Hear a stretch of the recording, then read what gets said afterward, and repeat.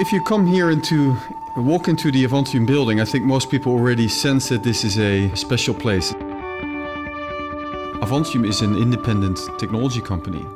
First of all, we have our uh, catalysis business where we help uh, major chemical and oil companies to develop new and better catalytic processes. And on top of that, we also develop what we call new chemistries, where we develop chemicals, plastics and fuels uh, with completely new catalytic processes more and more uh, raw materials are becoming scarce. The world population is growing, so you can see that there's going to be a crunch in terms of raw materials. Well, the television was not invented by the people that were in the radio. Internet was not invented by the people that were in television. So it's not very logical, I think, that petrochemical companies are inventing renewable chemistry synthetic biology. It's quite the buzzword as we look at these technologies and we determine what we can believe and what we can't believe.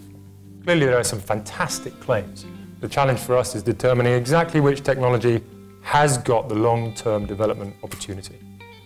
And that for us, Avantium represents, we think, one of the best opportunities of finding a long-lasting, viable, game-changing solution for the packaging industry we have deliberately decided not to go for a technology push strategy.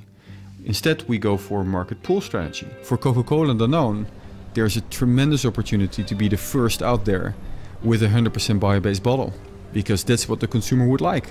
They really look for that change now. They don't want to wait for it tomorrow. With our technology, we can really play that role in leading that change.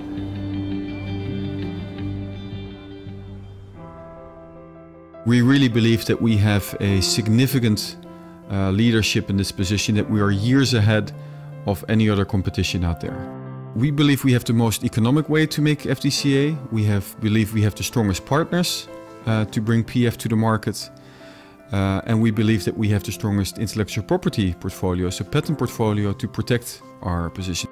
It doesn't mean that we're going to be sitting here and, and, think we have all the time. This is a race and we have to make sure that we maintain that leadership. This is just the beginning. Um, it is just the beginning because we want to work on basis of different types of biomass feedstock. We have the capability to develop many other breakthrough technologies. I don't dream about becoming a major chemical company, becoming a BASF or Dow or, or DuPont. I dream about a company that develops the technology that enables all these companies to make chemicals, fuels, uh, plastics from renewable resources. Because if that happens, that will be a massive change.